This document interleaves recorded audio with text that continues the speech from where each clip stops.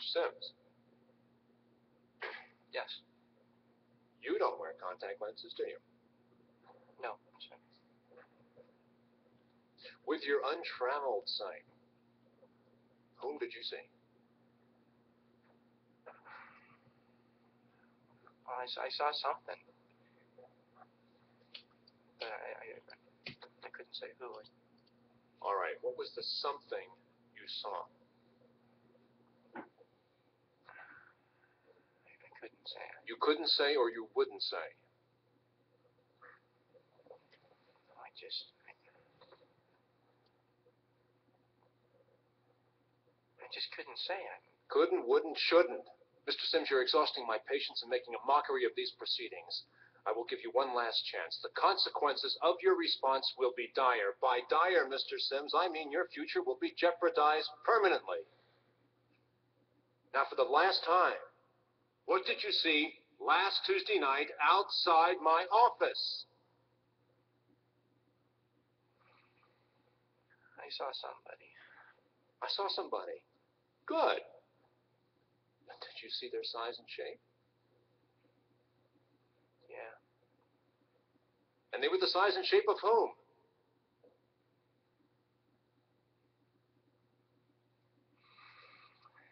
They were the size and shape.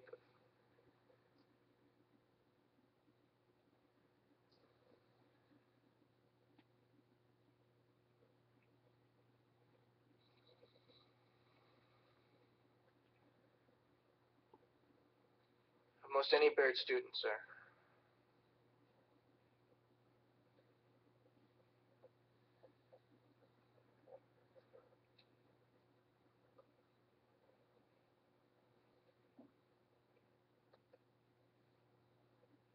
I am left with no real witness. Mr. Willis's testimony is not only vague, it is unsubstantiated. The substance I was looking for, Mr. Sims, was to come from you. Sorry. I'm sorry too, Mr. Sims. Because you know what I'm going to do, and as much as I can't punish Mr. Havemeyer, Mr. Potter, or Mr. Jameson, and I won't punish Mr. Willis. He's the only party to this incident who is still worthy of calling himself a Baird man. I'm going to recommend to the disciplinary committee that you be expelled. Mr. Sims, you are a cover up artist and you are a liar. But not a snitch. Excuse me? No, I don't think I will. Mr. Slade, This is such a crock of shit. please watch your language, Mr. Slade. You are in the Baird School, not a barracks. Mr. Sims, I will give you one final opportunity to speak up. Mr. Sims doesn't want it. He doesn't need to be labeled still worthy of being a Baird man. What the hell is that? What is your motto here? Boys, inform on your classmates. Save your hide. Anything short of that, we're going to burn you at the stake? Well, gentlemen, when the shit hits the fan, some guys run and some guys stay. Here's Charlie facing the fire, and there's George hiding in Big Daddy's pocket. And what are you doing? You're going to reward George and destroy Charlie. Are you finished, Mr. Slade? No, I'm just getting warmed up. I don't know who went to this place. William Howard Taft, William Jennings Bryan, William Tell, whoever. Their spirit is dead, if they ever had one. It's gone. You're building a rat ship here. A vessel for seagoing snitches. And if you think you're preparing these minnows for manhood, you better think again. Because I say you are killing the very spirit this institution proclaims it instills. What a sham. What kind of a show are you guys putting on here today? I mean, the only class in this act is sitting next to me, and I'm here to tell you this boy's soul is intact. It's non negotiable. You know how I know? Someone here, and I'm not going to say who, offered to buy it. Only Charlie here wasn't selling. Sir, you're out of order. Out of order. I show you out of order. You don't know what out of order is, Mr. Trask. I'd show you, but I'm too old. I'm too tired. I'm too fucking blind. If I were the man I was five years ago, I'd take a flamethrower to this place. Out of order. Who the hell do you think you're talking to?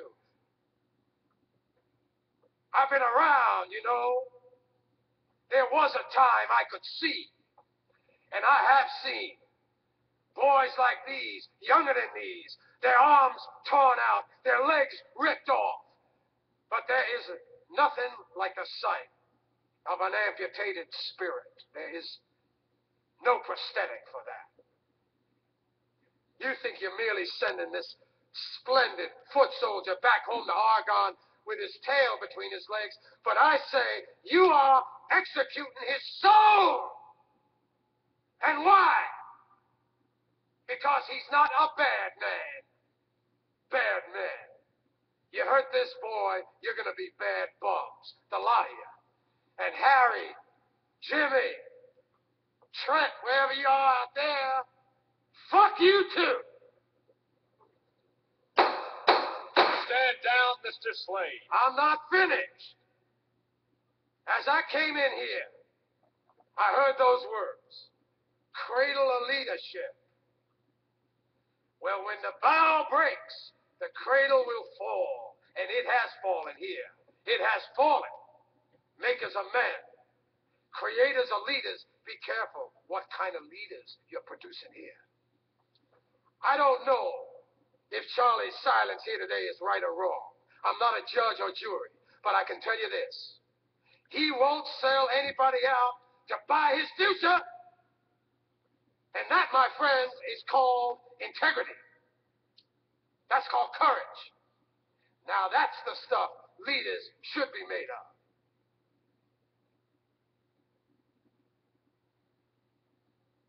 Now, I have come to the crossroads in my life.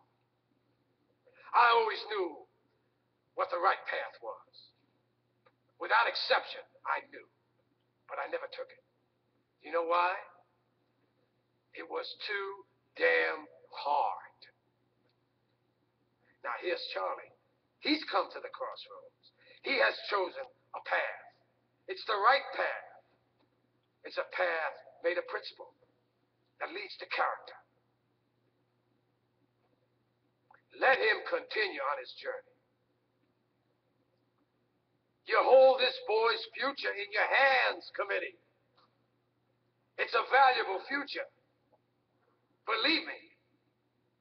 Don't destroy it. Protect it. Embrace it. It's going to make you proud one day, I promise you.